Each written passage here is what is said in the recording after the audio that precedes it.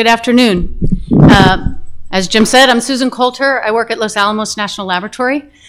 And what I'm going to talk about this afternoon um, are a couple of distinct and separate uh, fabrics, InfiniBand fabrics that we have deployed at Los Alamos, specifically for file systems and the various systems associated with file systems, like uh, file transfer agents, um, various things like that. So um, as a little bit also as a background to this, um, until 2013, uh, Los Alamos was entirely a Panasas shop as far as parallel file systems go.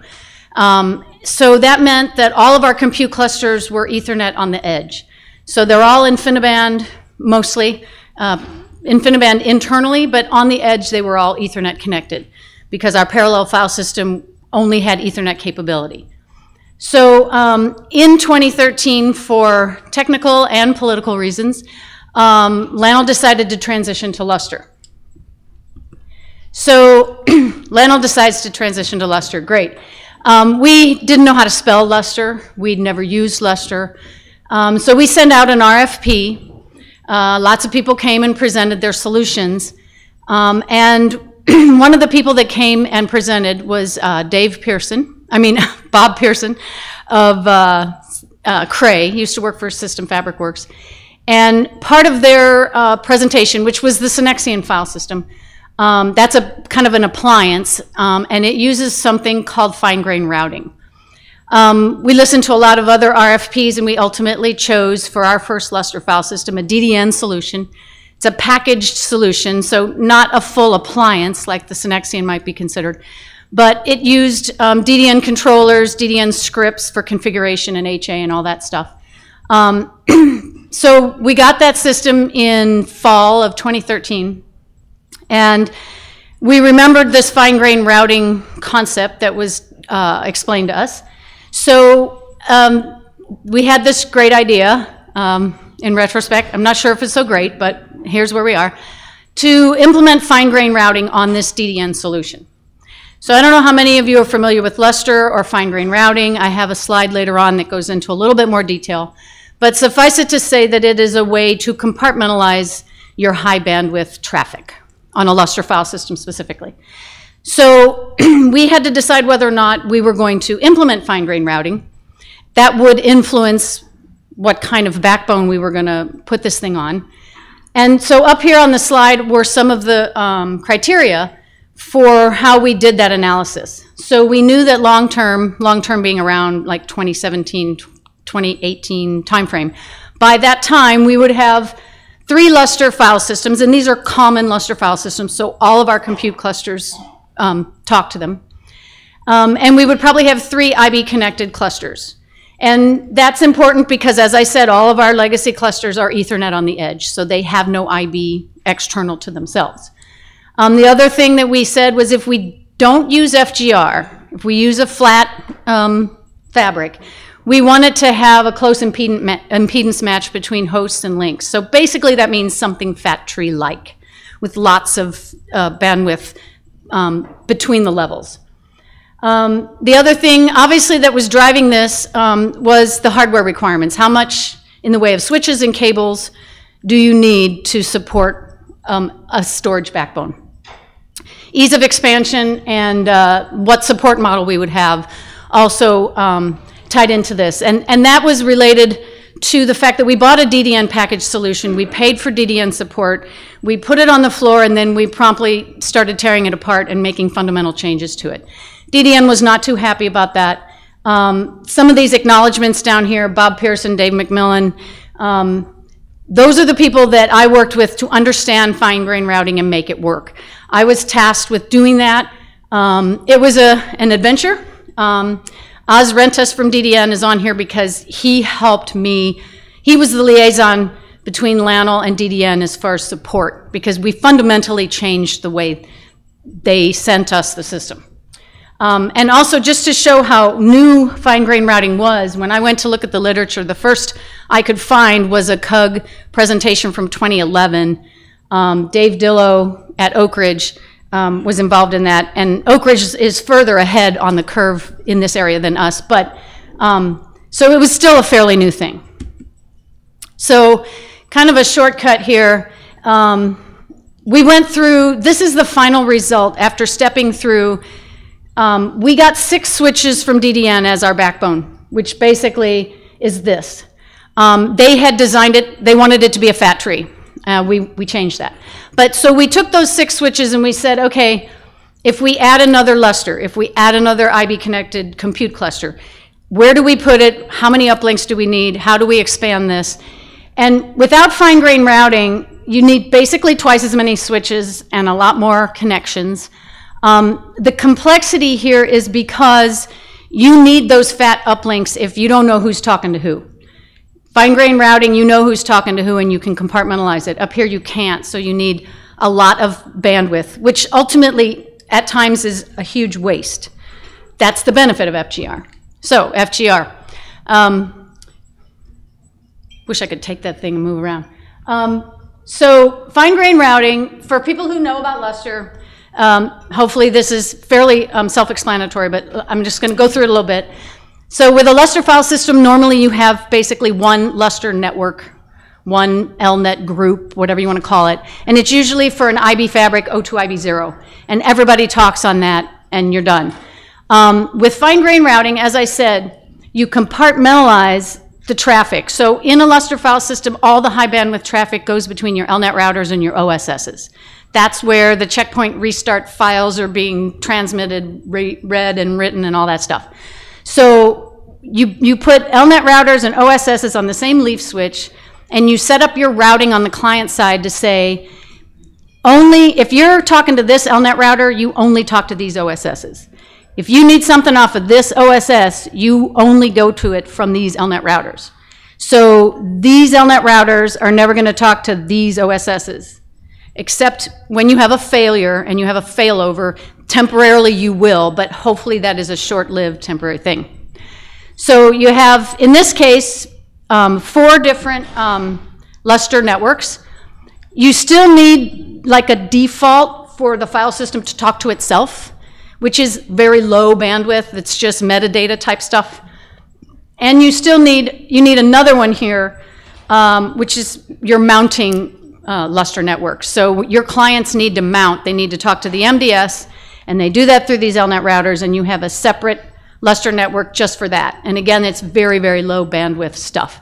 So you wind up with six instead of one Lustre network, um, but you have gained the fact that you know where your communications are happening, and it's all on this leaf switch.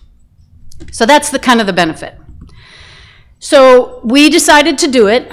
Um, we looked at that analysis and we said, okay, we're going to try it. Um, partly this is this network kind of grew up organically as we added systems, as we added port count, and um, knowing, and from that, we were using that to build what we knew was going to be a bigger, more complex backbone in our classified partition. So this is unclassified. We're going to build one in the classified. Turquoise is our term for this, red for the classified. So if I use those terms, that's what I mean. So this is our turquoise deployment. This is with two Lustre file systems attached. So as I said, we had one, our, our file system names are really boring. L1, L2, L3, okay. So L1 was our first system. It came in with 16 OSSs, and it also came in with these 32 LNet routers. Because as I said, everything was Ethernet on the edge. So those 32 LNet routers had one foot on the Ethernet campus and one foot in the Lustre IB backbone. And they were the translations. They came along, that hardware came with L1. And it is still in use today, and it's used for the other Lustre file systems as well. And this is with L2. So we had our second Lustre file system, which is also DDN, but we always knew we wanted to get away from buying appliances or packages. And so L2 is also DDN hardware, but on it, but we built it ourselves as a diskless TOS cluster.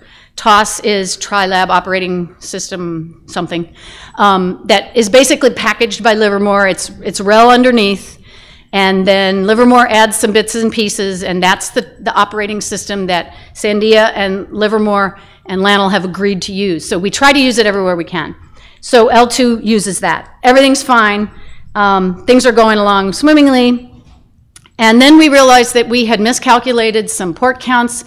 The next Lustre file system coming in was going to be a lot bigger because then we went to even more kind of commodity hardware with no bells and whistles, so we could buy a lot more storage for a lot less money. So we realized we were going to have to expand our original concept. So the original concept, just to basically, each one of these leaf switches only has four uplinks to the spine. So two spine switches, this is an actual representation, it's only six switches at this time. So a little bit of redundancy to the two different switches, but very skinny uplinks because there's very little traffic traveling on those. Whoop. So L3 came in um, 40 OSSs. Um, we had uh, connected our first IB connected compute cluster, which was called Wolf. Um, when I say I.O. nodes, in this case, they're also LNet routers. So we had two common Lustre file systems. We had a fairly large compute cluster connected directly to these leaf switches, and these are the originals. Um, they're FDR. Um, and we realized we were going to have to expand this thing. So we, um, ease of expansion was not that, didn't do that well in the analysis, but um, ultimately, I think we've settled on something that's working. We came up with lots of different ideas, and we settled on something that we call the ice cream sandwich. So it's tastier than a ham sandwich, in my opinion. So we were calling it the sandwich, right? So basically, the concept is if we have to expand this, maybe what we do is we just make a fatter leaf switch. And how do you make a fatter leaf switch? We just bought a second one and put eight uplinks, eight ISLs between these two leaf switches to make a sandwich. And these sandwiches still fall into those four fine grain routing groups that we use for Lustre. And so what we did for the expansion was we knew that this Grizzly is a new compute cluster that's coming in this year, this summer. Um, it's called CTS1, if I use that term. So it, it, it, it was coming in with EDR on the edge. So what we did was we went to our management. We said, we have to expand this anyway. Here's our plan. They bought it, um, literally. Um, we said, we want six new EDR leaf switches. We basically rebuilt the same backbone we had before that was FDR that came with the L1 DDN solution. Um, and we connected the new um, L3 Lustre to these guys, again, split across the, the fine grain routing groups. Um, this is where Grizzly will go when it shows up. And then what we did was we just took the two old spines from the old backbone and we took the leaf switches, we ran, they were about four racks apart, so physically close enough. We ran these ISLs during a DST, we took the file systems away, we disconnected the old spine, ran these ISLs over to the new backbone, and this is what's in production now. It's working very well. Um, Actually, there's a lot, we did a lot of testing between Wolf and the, uh, these two existing file systems and L3. Um, obviously, the metadata, well, not obviously, so the metadata servers are up here on the spine. Um, so we are traversing those skinny links. We are doing it successfully. The performance has not been um, negatively affected by this design. You'll see a, uh, a, presentation tomorrow from my colleague Jesse talking about some things we discovered during this Lustre um, testing and deployment that were very uh, informative. But basically, this is working. So as this was being deployed, we had to come up with um, a design for the classified network. Now, the classified network is, is bigger, it's more complicated, it's got um, file transfer agents or data transfer nodes, whatever terms people use. It's got a lot of different types of systems that we wanted to put on this backbone. So it didn't quite fit just a simple uh, a simple solution like we had in the turquoise. So we came, we talked about it, it, this is similar, and we came up with this, which we came up with the name damselfly. So it's a made up name. It was kind of a joke at first, but we use it now. It came out of the fact that we are basically trying to compartmentalize high bandwidth traffic on fat links, which is similar to what the Dragonfly does. Um, I was studying at the zoo to become a, a docent and learning about damselflies and dragonflies, and so I said, hey, let's call it a damselfly. So this is the cute picture, um, a better way to look at it, um, still with the switches in the same location, but a little more descriptive. We still only have two spines. Um, we have eight isolation groups or fine grain routing groups. We started calling them isolation groups. Um, so we have eight IGs. So when you have Lustre file systems and you use fine grain routing, you you don't have to, but it's advisable that you have multiples of whatever your fine grain routing is for OSSs. So eight of them in this case. Um, then we had what we called spanning leafs. So these are the systems that were not fine grain routing aware. They weren't going to have um, the smarts to do that, but they were going to have to probably access all of Lustre. And so we started calling them spanning leaves. Um, we have some that are e, uh, EDR, EDR switches, and then we have some that are FDR, and they're also spanning leaves. We call them spanning leaves as well. And those primarily are for HPSS. We are converting our HPSS movers to use IP over IB instead of Ethernet.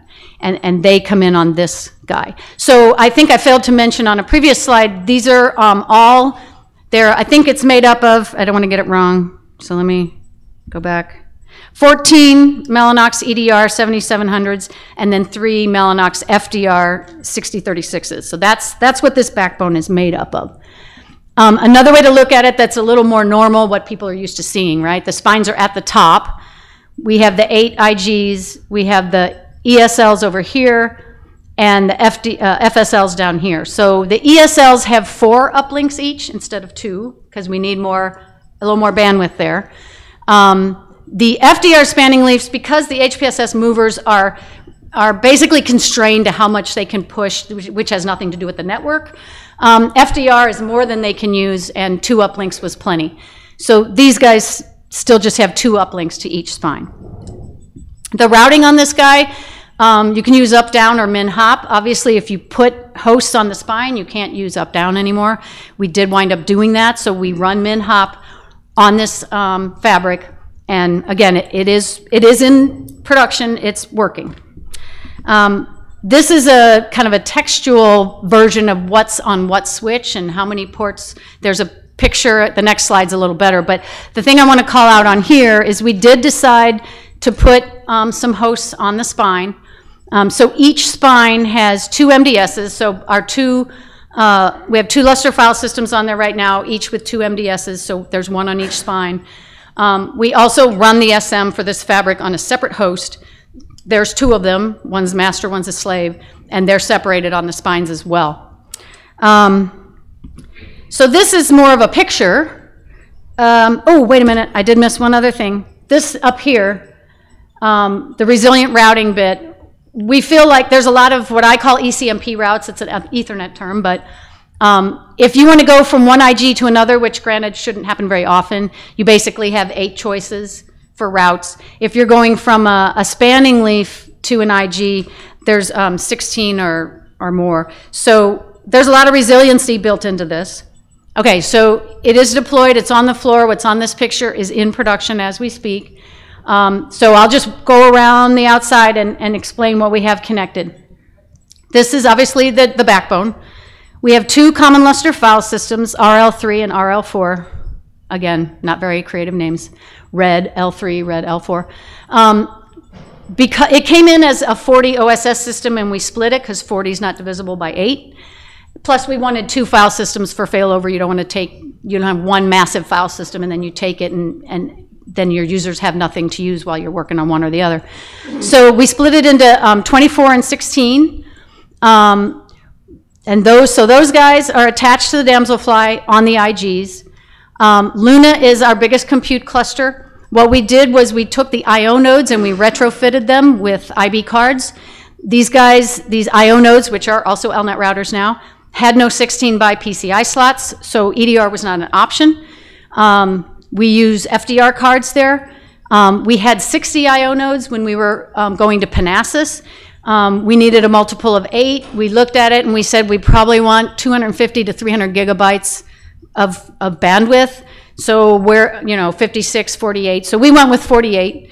So we have 48 um, LNet routers split across the IGs. Um, Luna also has what are called front ends or compile nodes or login nodes, whatever you want to call them. They also mount Lustre, but they don't do checkpoint restart files. They don't do large data. So they don't need as big of a pipe. So um, we did not retrofit those, plus port count on the Damselfly was getting a little tight. So those are connected to our campus backbone like they always have been. And we deployed something called the Slipknot cluster, which I'll talk a little bit more later about that. Um, it actually acts as the LNet routers um, for any Ethernet connected systems that need to get to common Lustre file system. So these Luna FEs, they go, they come to the campus, they go to the Garcia nodes on, on Slipknot, which takes them into the backbone.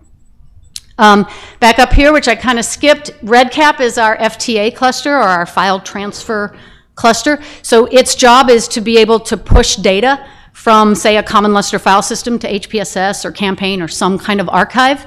Um, RedCap is directly tied into the Damselfly, but it is not FGR aware. So he is primarily the most important thing on these ESLs. And he's on the top half of the sandwich because that's one less hop. Um, split across the two, I think there's 30, 30 FTAs, 15 on each, on each. Um, down here is ViewMaster. He's our Viz cluster, so smaller. The way we do Viz at LANL, um, we do more of a geometry. We use the geometry. We don't push the whole. There's different Viz packages. I don't know that much about it, but we don't push the whole data set over and then extract the geometry.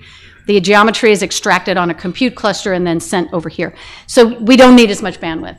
Um, so we have eight um, LNet routers there, again, split across those IGs. And the, the, the FEs are treated the same as the Luna FEs. They go across the um, Ethernet campus and then they go through the Garcia nodes as their LNet routers. Um, now, the other thing that was contributing to this whole design and the reason for going to an IB storage backbone was because of Trinity. So, Trinity is our large Cray uh, system that half of it's on the floor. The, the next half, I think, comes later this year. Um, and that Lustre file system, I mean, that uh, compute cluster does have a Lustre file system attached. It is a Sonexion, Cray Sonexion appliance, so to speak. Um, and we were going to need a way for people, this is not a common Lustre file system, it's specific to Trinity. We needed a way for people to get their data off of this and archive it, or send it back to Livermore or something, right? So we had to have a path um, to get it off. And so that's where the Slipknot cluster comes in again. That was its original purpose. The gateway nodes or the Garcia nodes kind of came about later. Um, we needed a bunch of nodes um, that would act as LNet routers, primarily for RedCap, so that users could get onto this file transfer cluster and say, I want to move my huge data sets off of this Sonexion file system over to what we call campaign, which I don't know if you were here Monday night. Gary talked a little bit about our campaign MARFS um, file system, or up to HPSS, which is long-term archive. Um, and so this is how that happens. We have these hunter nodes um, that are tied into the fabric, and they are the LNet routers that allow the RedCap cluster to mount Sonexion Lustre so people can move their data around. Um, now, as a side note, depending on your musical interests or your age, this means different things to different people, which I didn't realize. Um, so there is a band called Slipknot. If you, they're a grunge band from like the 90s. When I Googled them, they're, they're kind of nasty looking. I don't know. Sorry if I'm insulting somebody's musical preferences. That's not what this was named after. This is a Grateful Dead song that ties two other songs together, two file systems, right? Thought it was kind of cute. But when I put this sign on the rack that houses this cluster, I was asked why I put a picture of the Care Bears up there. So uh, it was an interesting moment to realize that I was getting old. Um, so, so this is uh, this part is not in production yet. This the Trinity stuff. Trinity, when we bring our large compute clusters in, they go open science first. So it is actually connected to our Turquoise network. We have open science running on it. Um, you can get to it um, if you have an account from anywhere, basically.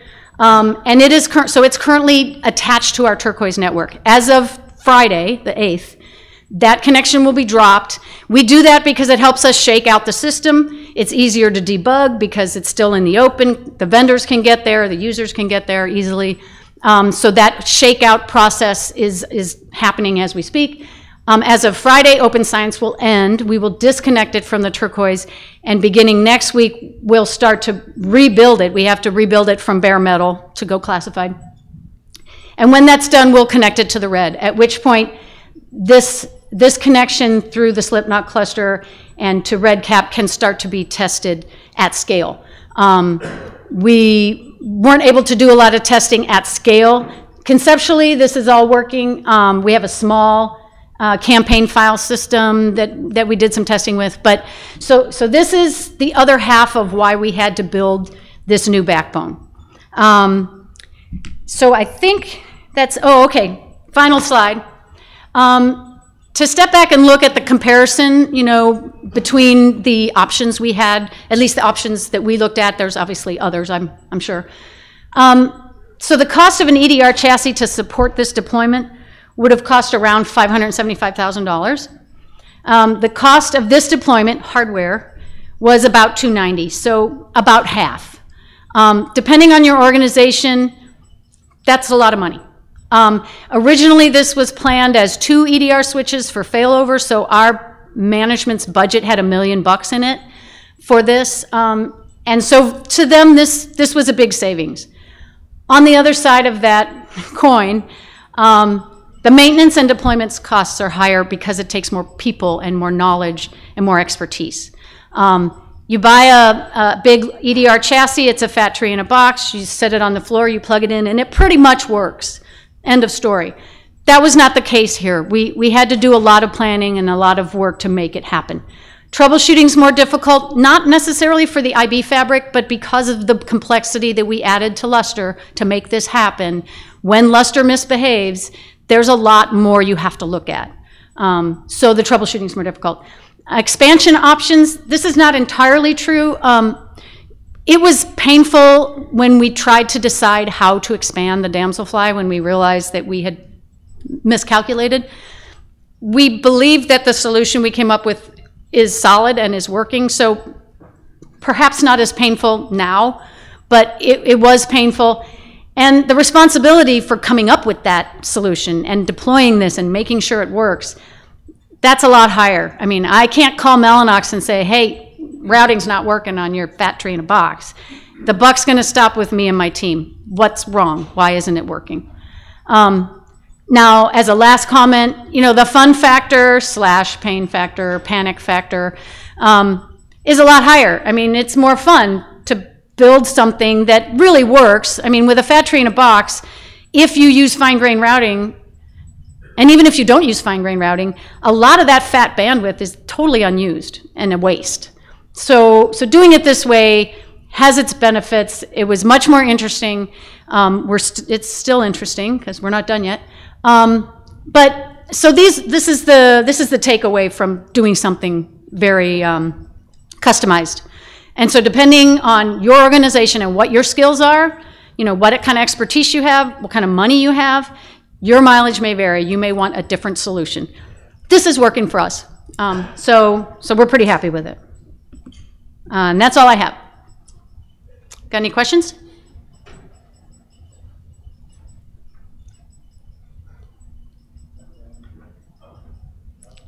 There we go. Um, so uh, I, I, work at Oak Ridge National Lab. Mm-hmm. And you hit on the reason why we have fine grained routing, and that is we forgot to budget for a storage network to connect Titan to our file system. Mm-hmm.